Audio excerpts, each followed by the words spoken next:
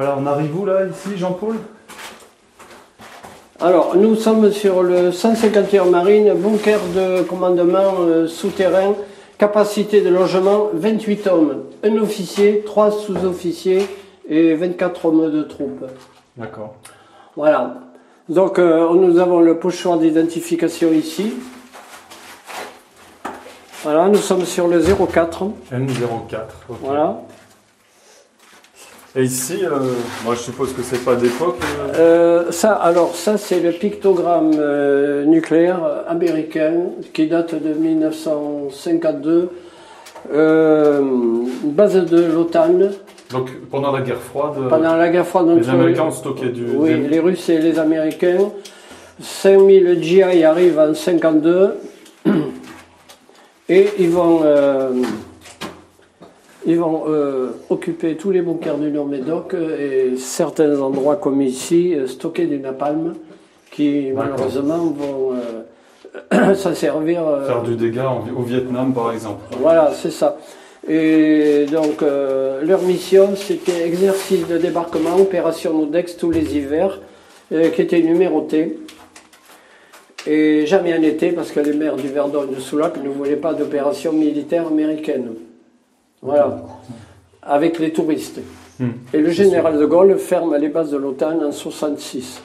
Ouais. US Gaulle, plus d'opérations militaires américaines sur le sol français. Donc, euh, ils ont occupé tous les bunkers du Nord, mais pas tous, mais les, les plus importants, euh, les plus spacieux pour stocker du napalm. Après, on ira au dépôt de munitions qui est juste euh, derrière où ils ont stocké là aussi. D'accord. Voilà. Alors attention, il y a deux marches. hein. Ici, on a un clapet de surpression pour évacuer l'air vicié. Et ici, on a une porte blindée de 185 kg, standard, que j'ai dégrippée. Donc là, elle fonctionne. Ah, euh, nickel. tu vois. Alors là, il y avait le rond rouge qui a disparu, qui signifie que c'est une porte blindée étanche au gaz.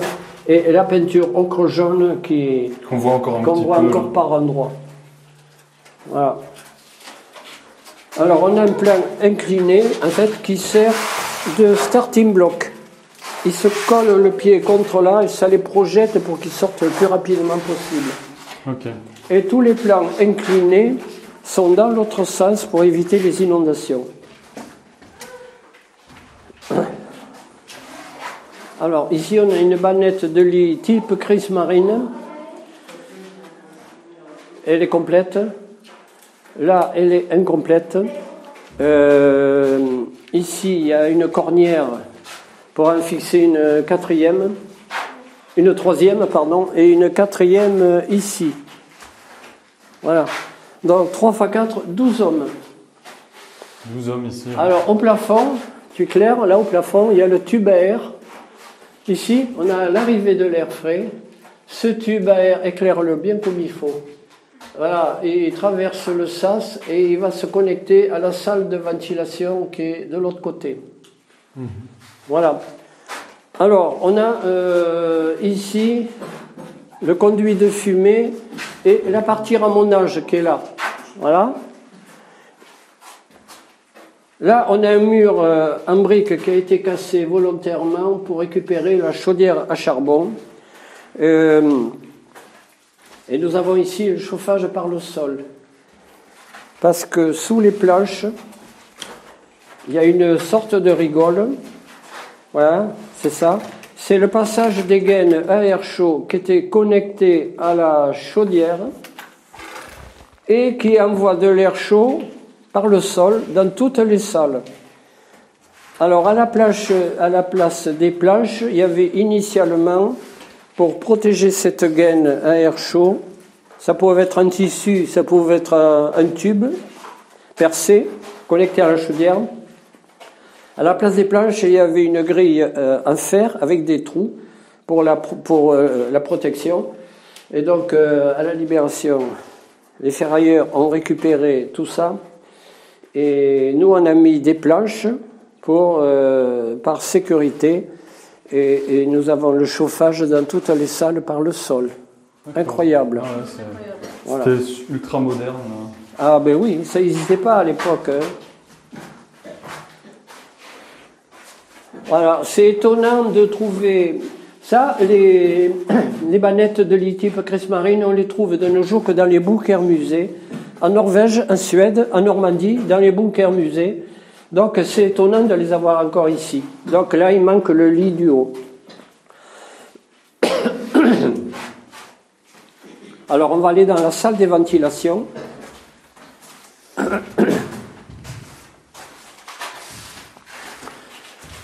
Alors on voit bien la hauteur des gravats ici. Vous voyez la partie blanche. Euh, Là, par rapport au-dessus, c'est plus gris foncé. C'est la hauteur des gravats qu'il y avait dans toutes les salles. Ah ouais. Donc j'ai mis un an. Un an pour celui-là. Voilà. pour, euh, Alors on va aller voir, euh, on va aller voir mon chantier que je vais reprendre à l'automne pour euh, réouvrir la porte nord. Ah voilà. Voilà. Donc il faut casser cette euh, dalle en ciment. Il faut creuser encore, il faut descendre encore derrière pour euh, rétablir. Ah ouais, quoi faire là, hein, effectivement. Ah, c'est un travail titanesque que j'ai voulu, j'ai voulu m'y attaquer. Voilà. Alors de temps en temps, je remonte le sable là. J'attends qu'il descende à la dernière marche pour le faire. Voilà. Alors on a le deuxième pochoir d'identification ici. Voilà. C'est inhabituel de le voir comme ça, dans un angle. Ouais.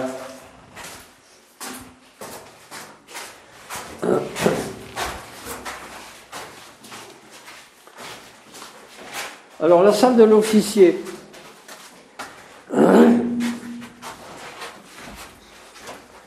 Salle de l'officier et son lit. 1m70 de long, 60 cm de large. Un petit officier alors. hein. Ah non, mais ils sont tous mesurés, sélectionnés, triés. Ok, d'accord. Et- et- alors, mais ce sont les officiers ou les soldats de la crise marine et ceux qui sont petits. voilà. Donc on voit bien hein, qu'ils ne sont, pas- ils sont pas grands. Donc on a le même revêtement moral, euh, mural partout, c'est standardisé. Voilà. L'isolation, c'est le genre de plaque en, en, en amiante, en ciment. Alors ça, hein. c'est- ça c'est de, c'est de l'amiante, ça. Ok. Voilà. Alors l'État qui est tellement euh, pour chasser l'amiante, euh, bizarrement ils sont pas venus ici encore. Non. La fibrolite, c'est ça. C'est de la paille trempée dans du ciment. C'est un isolant. Voilà. Et ici, il y a l'emplacement d'une prise de courant en bakélite qui a été démontée et récupérée par un collectionneur. Et il y a encore les colliers de fixation du câblage. Euh, ici, on a la, la prise de courant, euh, l'interrupteur en bakélite qui a cramé, il ne reste plus que la coque. Euh, en haut, on a l'arrivée de l'air frais. Ici, le chauffage par le sol. Voilà. Et là, vous avez ben, l'arrivée de l'air frais. Et ici, il y a un trou carré qui sert d'hygiaphone. L'officier peut donner des ordres, ça lui évite de sortir et d'aller rentrer chez les sous-officiers. Voilà. Il communique comme ça.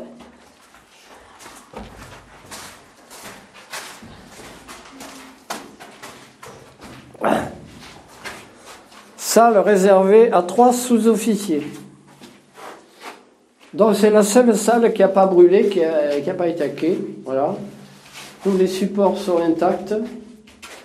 Euh, les supports de, la banette à trois lits. Voilà. L'arrivée de l'air frais, l'hygiaphone et le chauffage central par le sol.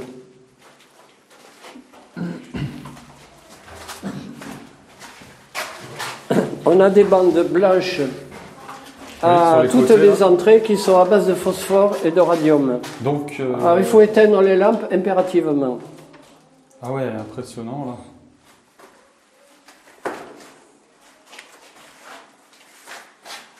Alors, il faut il faut l'alimenter un peu. Ah et ouais. J'ai pas la lampe qu'il faut là.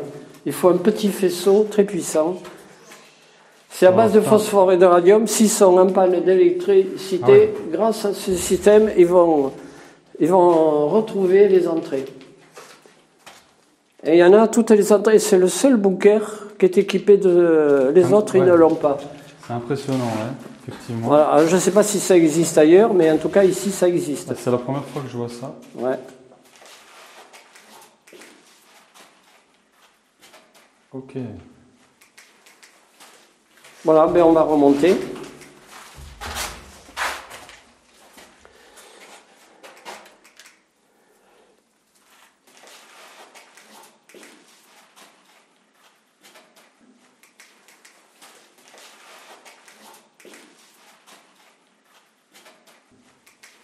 Euh, Là-bas, c'est des, gros tubes euh, inox zingués.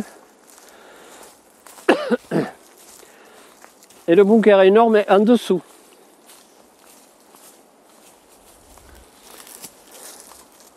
C'est le M145 Sud. D'accord.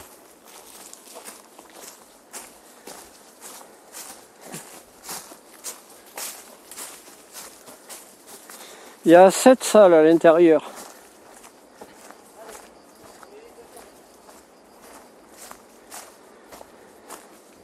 Vous allez voir, il est impressionnant. hein.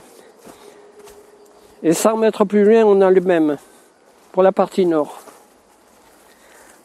Ah, il faut le trouver, celui-là. Ah ouais. Alors, nous avons des marches traditionnelles qui font 15 cm de hauteur. Et ici, elles font que 7,5, 8, parce qu'il y a des fonctions.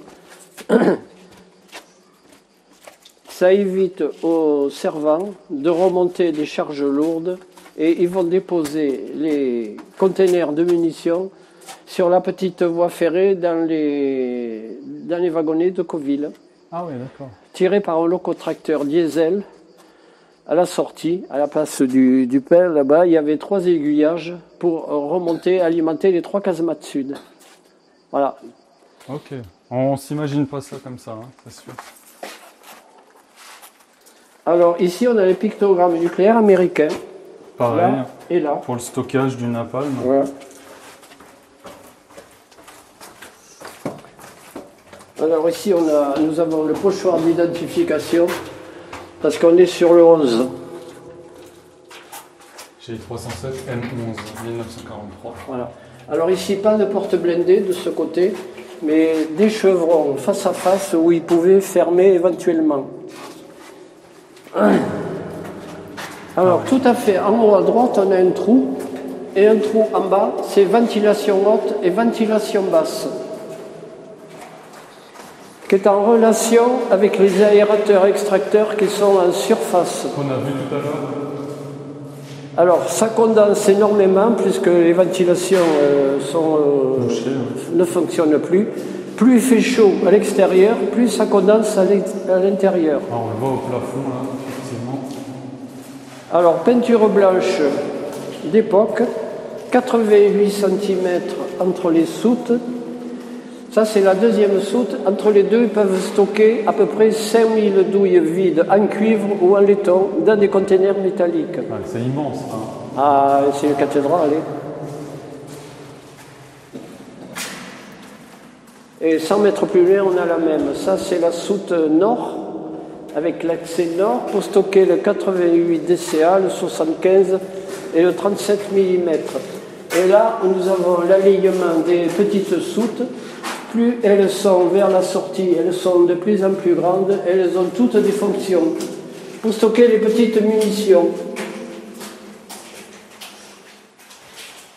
Ah, c'est géant. hein. Ouais. C'est immense, a 3 mètres de haut à peu près. hein.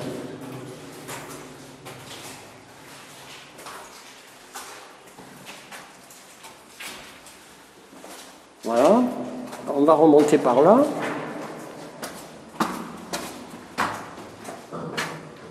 Ici, il y avait des portes à double vanteau, mais petits modèles. Vous voyez Ouais, d'accord. Elles sont légères. Et ici, on a euh, un soldat qui a gravé. Ah ouais. Euh, ça, on le voit très bien dans le chazette aussi. Euh, et que Dieu me protège. Parce que le goth, c'est le Dieu. Ouais. Là, il y a une belle toile d'araignée. là. Alors, des fois, il y a des chauves-souris. Parce qu'elles seront protégées, répertoriées, comptabilisées par l'ONF. Il faut savoir que c'est un excellent insecticide parce qu'une chauve-souris, dans une nuit, peut manger son propre poids de papillons ou de moustiques. Alors ici, on a des tirs de canon, vous voyez Ouais. Là-bas aussi. Qui date aussi d'avril 45 alors? Voilà. C'est un M145 1000, dans les 1400 mètres cubes, il fait. Alors ça, c'est tous les maçons connaissent ça, c'est le joint de dilatation, Ouais. parce que cette partie, elle est pleine jusqu'au fond. De l'autre côté, c'est identique, c'est pour étayer le bloc central, de façon qu'il ne bouge pas. Il ne craint pas bouger. Voilà, c'est du gros calibre aussi là. hein. Ouais, ouais, c'est les tirs de canon qui tiraient depuis la voie ferrée en bas. Bon, mais c'est comme si on lance un gros caillou. hein. Ouais, ça, ça paraît impressionnant l'impact comme ça, mais finalement ça vient pas du tout fragiliser. Non, bah, euh, il y a des structure, hein. impacts plus, plus petits. hein. Ouais. Euh, là, là aussi. Voilà. Il y en a Bon. un plus gros là-haut. Mais je, on, on va, on, va, on va revenir au parking des Arros. Ouais. Et là, avec le soleil, on voit bien, le, avec le relief, les planches du coffrage. Bon, mais je crois que vous avez fait une belle découverte là. Ah, c'était chouette. hein. Ouais. Alors, il faut savoir que tout ça, c'était peint en ocre jaune, hein, toutes les entrées de bunker. Bah voilà, cette visite se termine avec euh, Jean-Paul. Merci beaucoup pour euh, cet accompagnement, de m'avoir fait découvrir ce site qui est incroyable et surtout ton travail qui a été titanesque depuis euh, toutes ces années pour désensabler tous ces bunkers. Ouais, pour moi, c'est que du bonheur d'avoir accompli euh, ce travail titanesque, comme euh, vous dites, mais euh, je le fais aussi par devoir de mémoire et par passion. Et je suis là pour transmettre, surtout Ouais, c'est important. aux générations à, venir, parce que c'est leur patrimoine. Tout à fait. Bon, il y a encore un peu de travail. Donc si vous êtes volontaire, vous êtes dans le coin de la pointe de Grave, près de Soulac-sur-Mer ou dans la région de Bordeaux, bah, levez la main, faites signe à Bunker Memory. On va relayer euh, eh ben, les volontaires qui, viendront euh, bah, aider Jean-Paul à continuer à désensabler des bunkers sur le site. Voilà, continuez à nous suivre et puis à bientôt. Ciao